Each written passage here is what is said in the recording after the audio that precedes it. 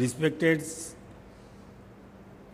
His Excellencies Sri Muridhar Bhandare, Honorable Governor of Odisha, respected Dr. Rangarajan, Chairman of the PM Committee, my dear friend Mr. Chandrakant, Mr. Vinay Padodia, Mr.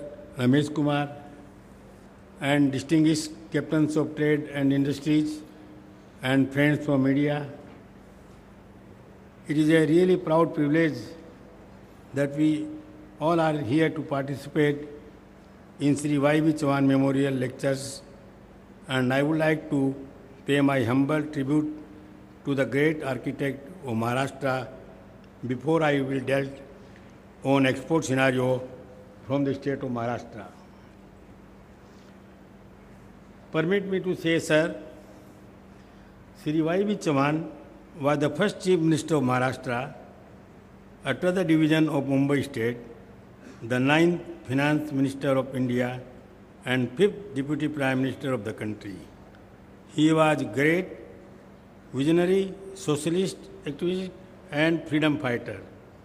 I have the privilege of interaction with him in his various capacity, and I fully agree that he was rightly known as the leader of the common people.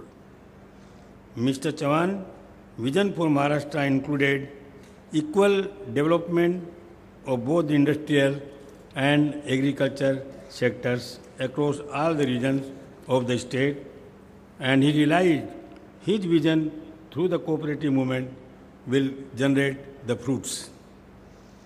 If today we are seeing Maharashtra as a number one state, both in export and manufacturing, we all indebted to Sri Y.V. Chavan. Maharashtra has completed its golden jubilee on the 1st May 2010. The state is the third largest and the second most literate state in the country with a rich legacy of enterprises and skilled manpower. Maharashtra's capital, Mumbai, is the gateway to the world and is also the financial and commercial capital of our country.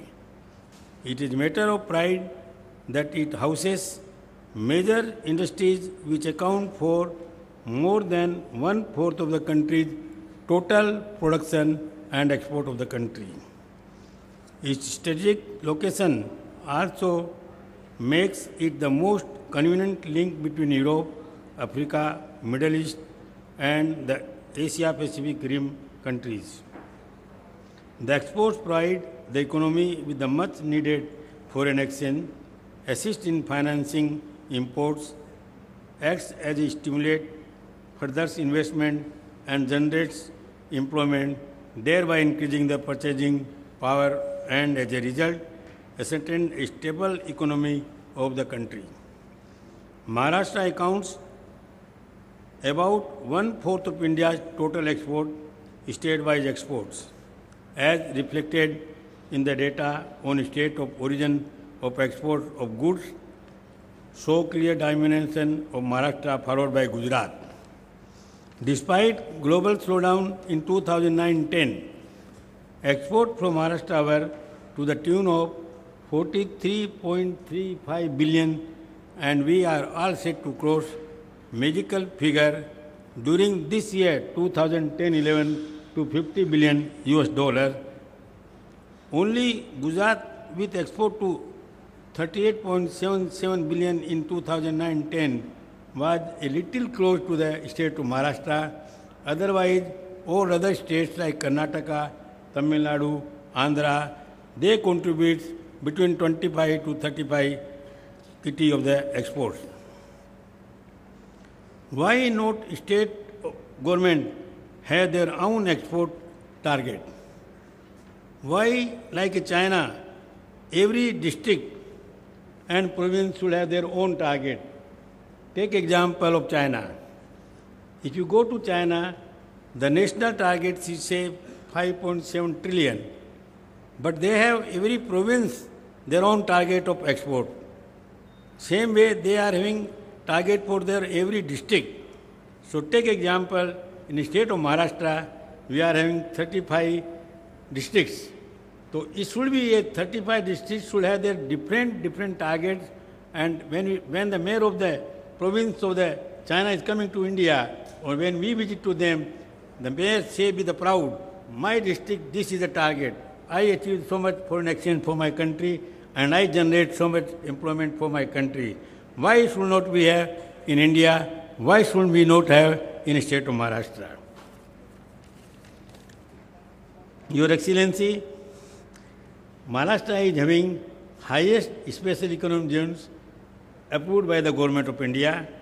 In February 2011, 104 formal approvals and principal approvals of special economic zones in the state of Maharashtra. Out of that, 63 special economic zones have been notified. So there is a proud privilege for the state of Maharashtra. But unfortunately, in the new recent budget, the MAT, minimum alternative tax, have been imposed on the dividend as distribution tax as well as the uh, all the units 18.5 percent.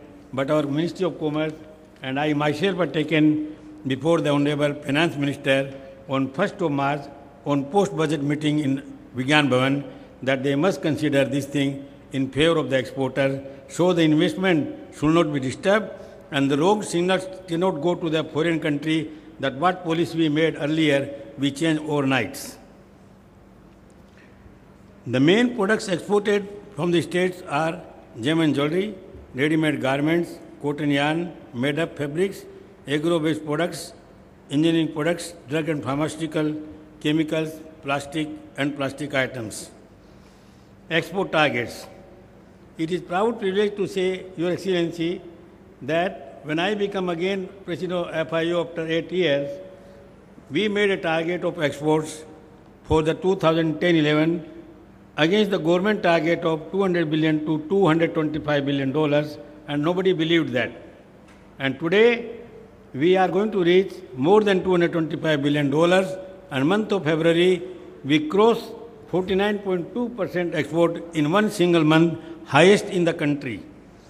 Prompted with this, we decided from uh, FIEO the target for country should not be more than uh, should be more than 500 billion dollars and government target was only 400 billion dollars but after seeing this exercise and quantum jump in export government of india is forced to revise their export target to 450 billion dollars the same way we feel the state of maharashtra will achieve the target of export this year 2010-11 to 50 billion and we feel 2014-15 the export of the Maharashtra state will be 150 billion dollars.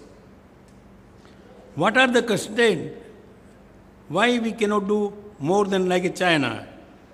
Because our these exporters from SMEs, they have to run from the pillar to doors for every their problems. Biggest thing is that we from India are not exporting taxes and levies, but exporting the merchandise. In every state, we have to pay several inherent taxes of state governments, like sale tax, octroi duty, transport charges, electricity charges, so many. This can be only solved when, as our Dr. Prime Minister Manmohan Singh and Sri Pranab Mukherjee, Finance Minister, accept in the Parliament the bill to pass for the GST, not in this season of Parliament, but at least next season. And therefore, we appeal to all of you, we must make a big noise. The GST must be passed in every state. The biggest, the biggest problem with the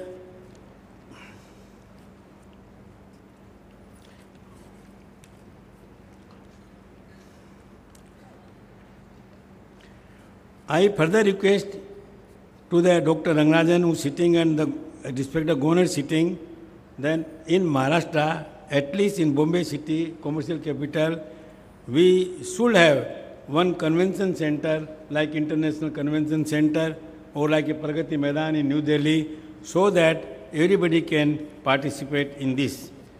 In the last only I would like to say, FIEO can help you, all the SMEs, if you want to participate in foreign exhibition or want to travel foreign country for marketing your products, we from the government of India, on behalf of the Commerce Ministry, distribute about 60% their expenses to the SMEs. With these words, I thank you once again for giving me this opportunity and to Mr. Chandrakant. Thank you.